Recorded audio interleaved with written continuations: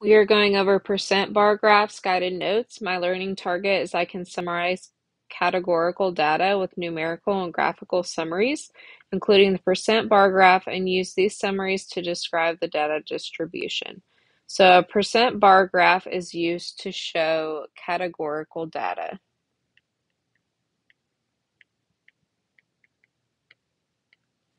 So I'm going to look at my graph and I'm going to answer these questions.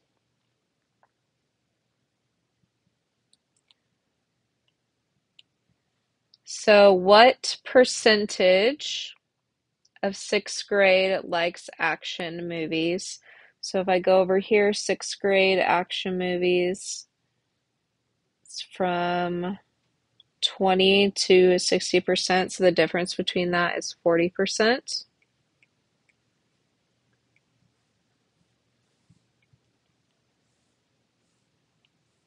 All right, next one.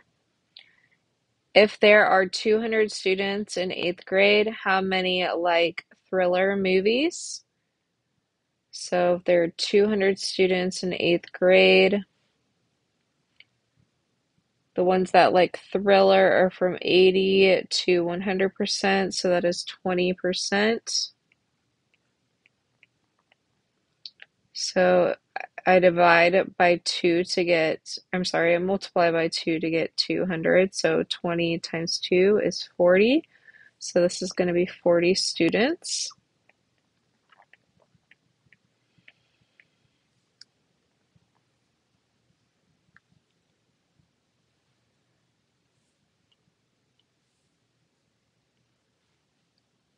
All right, and then what is the difference between the percentage in sixth grade that likes action movies versus comedy movies. So I already know that action movies is 40%. Comedy movies is going to be 20%.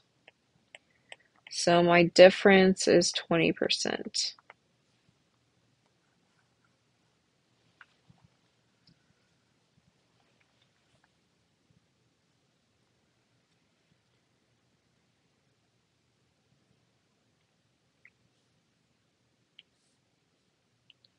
All right, what percentage of eighth grade likes labs?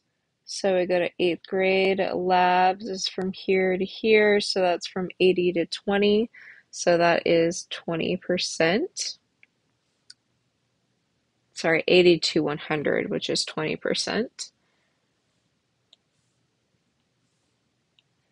Right, if there are 50 students in seventh grade, how many like dachshunds? So if 50 students in seventh grade, we are going to know the percentage. So seventh grade likes dachshunds, that's going to be 40%. This is divided by 2, so 40 divided by 2 is 20. So 20 students.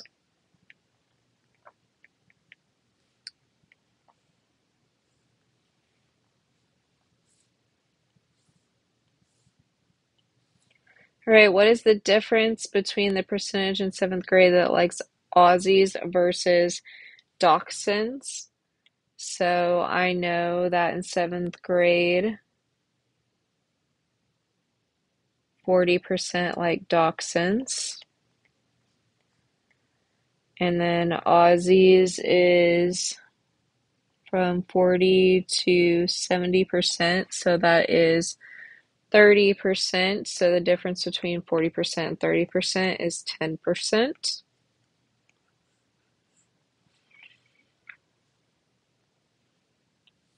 All right, and then what percentage of eighth grade likes Aussies?